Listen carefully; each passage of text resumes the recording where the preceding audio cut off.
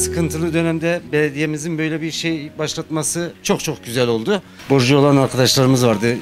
Millet vardı. Şey, onların borçlarını kapattık. Ee, şimdi sıkıntısız inşallah e, daha rahat gelip alışveriş yapacaklar. Allah razı olsun. Bir kere değil bin kere razı olsun. Çünkü ben çok sıkıntı çektim.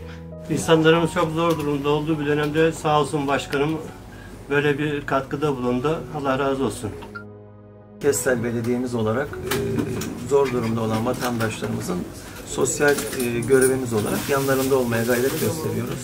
E, ne yaptık? Arkadaşlarımızla birlikte e, mahalle bakkallarımızda e, ödeme açısından sıkıntı yaşayan vatandaşlarımızın hesaplarını kapatma şekliyle bir sosyal proje başlattık.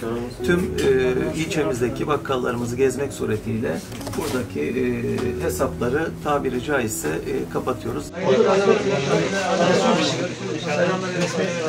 Hadi hayırlı bakalım cümleten.